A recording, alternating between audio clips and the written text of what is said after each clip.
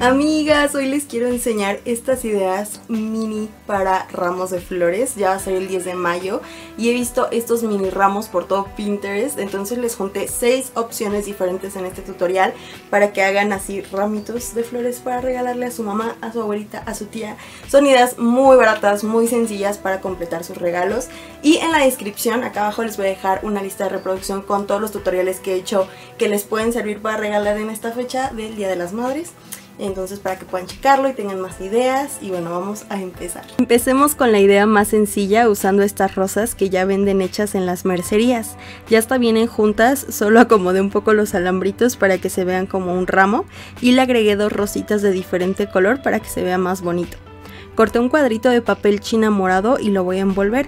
La parte más difícil de cada ramo fue envolverlos porque yo quería que todas las flores se vieran de frente. Entonces doblé un poco las orillas así como arrugando y apreté abajo dejando que el cono se abriera bien hacia arriba. Amarré todo con un cordoncito rosa y quedó listo. Si tienes que hacer varios ramos o si eres maestra o así, yo creo que esta es la mejor opción porque puedes hacerlos muy rápido. Al final corté un poco del papel porque me gustó más sin el piquito de acá arriba. La siguiente idea es súper adorable. Con un Sharpie dibujé las florecitas en una cartulina blanca. Pueden ser las flores que tú quieras, yo hice varias diferentes, dibujando como se verían de ladito, así como en un ramo de verdad. También dibujé unas ramitas solo con hojitas y puedes hacer también margaritas así sencillas de que la bolita y alrededor los pétalos de gota como si la estuvieras viendo de frente. También hice una que se ve como de ladito, solo haciendo un óvalo y todos los pétalos hacia abajo a partir de la mitad del óvalo. Cuando terminé de dibujarlas, las coloreé con plumones de agua. Puedes usar crayolas, colores de madera o acuarelas. Y debes salirte de las líneas que dibujaste en negro para que así al recortarlo no quede orilla blanca. Haz las combinaciones que tú prefieras. Ahora sí voy a recortarlas lo más cerquita que se pueda al dibujo original y para los espacios difíciles usé mi exacto. Para envolver estas flores voy a dibujar el papel. Son como rectángulos así un poquito encimados arriba, sin completar bien las líneas para que se vean como arrugas de papel. Abajo le dibujé un moño y el sobrante de papel así más cortito que el cono de arriba. Lo recorté dejando un contorno blanco y con mi exacto hice una abertura para ahí encajar las flores. Solo corté así una línea. Si te cuesta, puedes usar la misma punta de tu exacto para empujar los tallos, porque como está muy apretado, pues va a costarte un poco de trabajo, pero está bien que esté así para que sostenga bien las flores. Ya que esté lleno tu ramito, mira qué chulo se ve. Yo dibujé otro empezando con una curva arriba y ya los triángulos y las arrugas a las orillas. Lo recorté y le hice dos cortecitos, uno arriba del moño y otro abajo para que algunos de los tallos salgan por ahí y se vean. Yo te recomiendo que ya que esté acomodado como tú quieras, le pongas un diurex atrás sujetando los tallitos para que no se vayan a zafar o no se vayan a mover. Están bien preciosos estos ramos, no tienes que gastar nada para hacerlos, puedes hacerlo con lo que tienes en tu casa, me encanta. Otra opción más sencilla es usar flores naturales pequeñas. Yo elegí lavanda porque así además va a oler súper rico.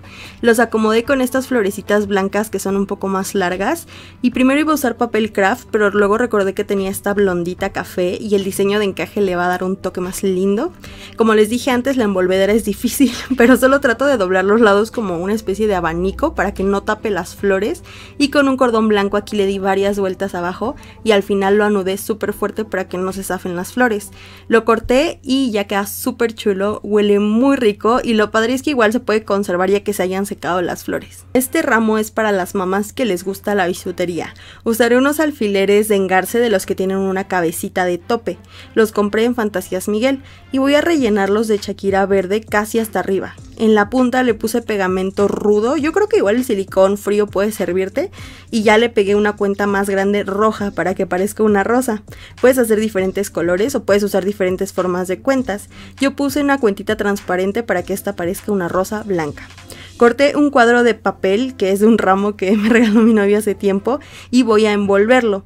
Estas florecitas son súper resbaladizas, entonces tuve que primero sujetarlas juntas con un alambrito, puede ser el alambrito de la bolsa del pan, y le di varias vueltas para sujetarlas, y ya después las pude envolver en el papel y amarrarlo fuerte con un listoncito. Corté el sobrante y listo. Este es el que quedó más menudito, pero miren cómo brilla, eso me encanta. La quinta idea es súper sencilla y bonita. Vas a imprimir las flores. En mi tablero de Pinterest de 10 de mayo hay varias imágenes que te pueden servir. Recorta las que quieras usar. Luego recorté una tira de cartulina verde y voy a usarla para crear los tallos.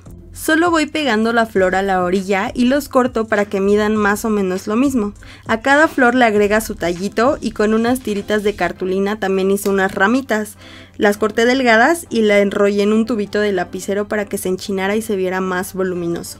Dibujé el papel en una hoja decorada amarilla y lo recorté. Es igual que los que hicimos en blanco, así como con las arrugas de papel. A este le hice dos cortes, uno al ras del moñito y otro en medio para poder ensartar muchas flores y que se vea súper lleno el ramo. Al acomodarlas me aseguré de que las flores de abajo tapen el cortecito de la parte de en medio. Y ya que están acomodadas, les pegué su diurex atrás para sujetarlas. Obviamente yo pensé en mis amigas que no dibujan y este ramo queda igual de precioso y es muy muy fácil de hacer, pero vean qué chulada. Al final dejé mi favorita. Necesitas hojas de colores, palillos de madera y pegamento blanco. Corté una tirita de amarillo como de 1.5 centímetros de ancho y la doblé a la mitad así por todo lo largo. Puse pegamento en la punta del palillo y luego en la orilla de la tira de papel y comencé a enrollar en el palito. Asegúrate de que quede bien apretado y cuando ya se vea como el centro de una flor, ponle pegamento, das la última vuelta y cortas el sobrante. Ahora corté una tira de unos 2 centímetros de ancho y la doblé a la mitad por todo lo largo. Le corté flequitos del lado que se abre el doblez para así formar los pétalos. Le puse pegamento al centro amarillo alrededor y así comencé a enrollar la tira rosa con las flecos así que cortamos hacia arriba. Puedes ir agregándole pegamento a la tira para asegurarla bien. Después de 3 o 4 vueltas le puse pegamento y corté el sobrante. Ahora solo debes abrir los petalitos así, con tu dedo hacia abajo, para que te quede una bonita flor. Pinté el tallo con plumón verde. Para hacer una lavanda corté una tira morada de 1.5 centímetros de ancho y la doblé. Ahora los flequitos van cortados del lado del doblez, para que queden como así como boluditos. Le puse pegamento a la orilla del papel y a la punta del palillo. Doblé la orilla de la tira pegándola a la punta del palillo y luego fui girando y pegando recorriéndome un poco hacia abajo como en diagonal para forrar el palito. Ya donde quiero que se acabe la flor, corté el exceso. Y si quieres puedes abrir un poquito las hojitas hacia afuera. Haz tantas florecitas como prefieras y luego también corta los palillos a la altura que quieres que queden.